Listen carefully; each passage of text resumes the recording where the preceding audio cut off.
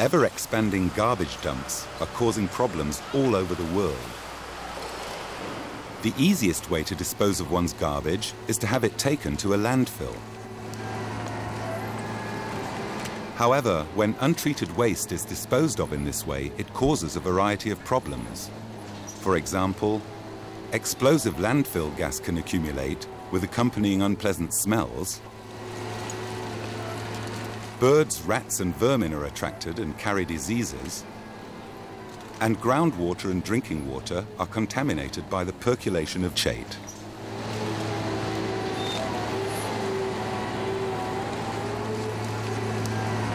One relatively inexpensive and uncomplicated way to eliminate such problems is to introduce mechanical biological waste treatment methods. Mechanical biological waste treatment is one of various waste treatment processes presently in use in Germany. The process is centered around the biological pretreatment of waste. There is no one single process as such, but rather a broad spectrum of relevant equipment and manners of treatment. Individual stages of waste treatment can be combined and integrated as required to meet the frame conditions and objectives of the specific situation.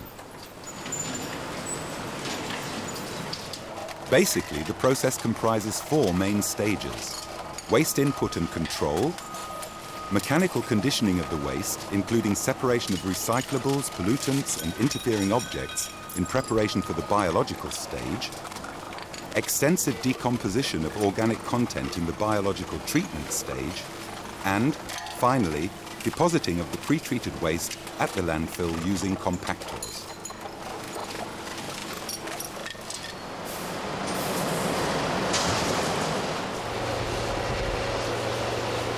The incoming waste is first registered and weighed.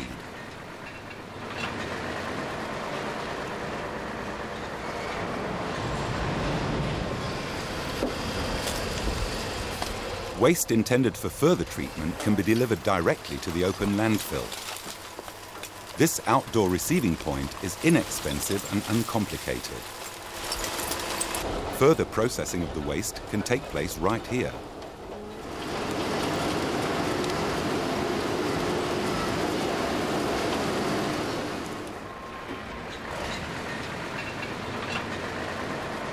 An indoor receiving point offers the advantage of minimizing odorous emissions, keeping out animals, and stopping the uncontrolled scatter of paper and plastic around the area during the disposal process.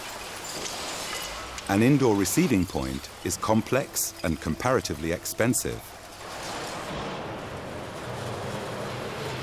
An initial visual inspection of the inputs includes the manual or mechanical removal of interfering objects and pollutants. Large interfering objects are removed to prevent them from damaging the downstream equipment.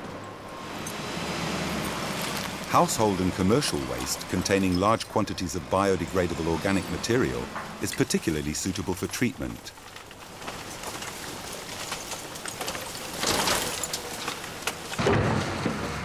Industrial and commercial waste containing pollutants is unsuitable for treatment.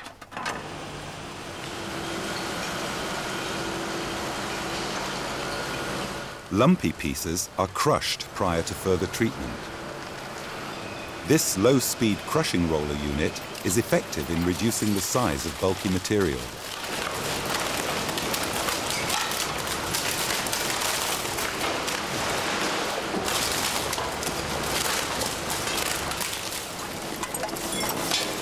The pre-classified, pre-comminuted waste is then forwarded for mechanical conditioning.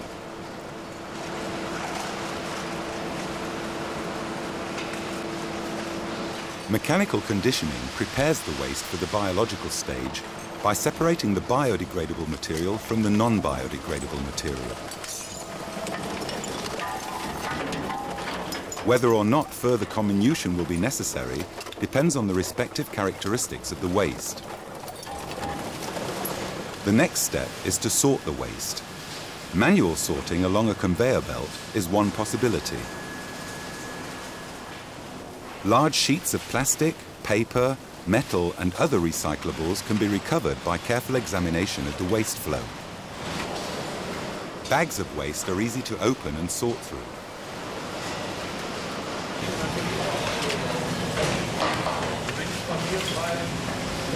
This kind of manual sorting can also be done directly at the landfill.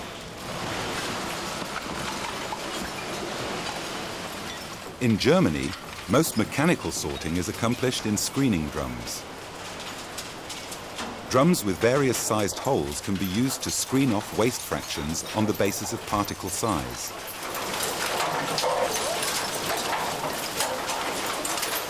The screen residue can be put through a crusher and then return for another screening.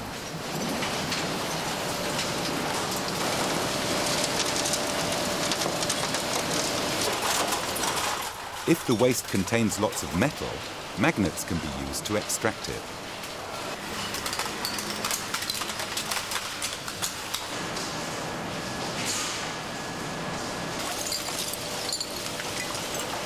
Homogenization, as the last step of mechanical conditioning, can be carried out in a mixer, the method used most in Germany. Pre-treated waste is mixed into a uniform blend. Process water from the biological treatment stage can be added to optimize the waste's moisture content.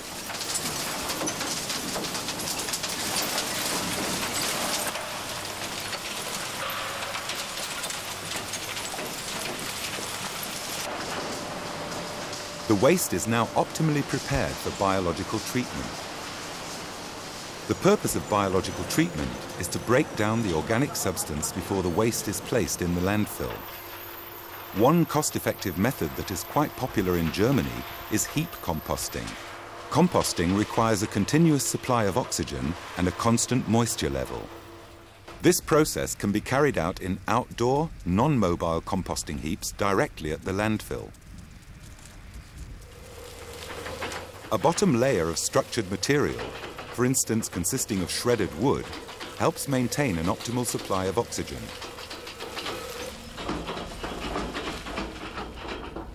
Alternatively, a layer of pallets can also ensure a good supply of air to the bottom of the heap.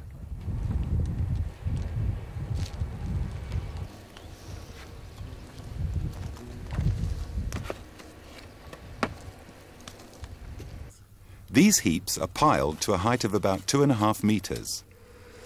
The length and width of the heaps can be chosen to fit the available space. A wheel loader is used for building up the heaps.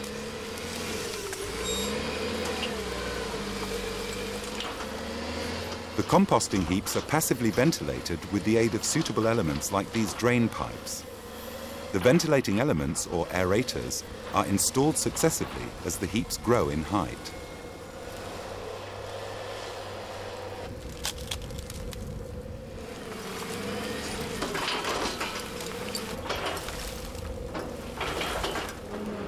Finally, the heaps are covered with a roughly 50 centimetre thick layer of special biofiltration material in the form of screened waste from the mechanical biological treatment stage.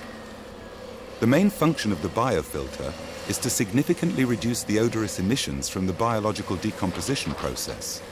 It also keeps birds and vermin away and prevents the wind from scattering paper and plastic.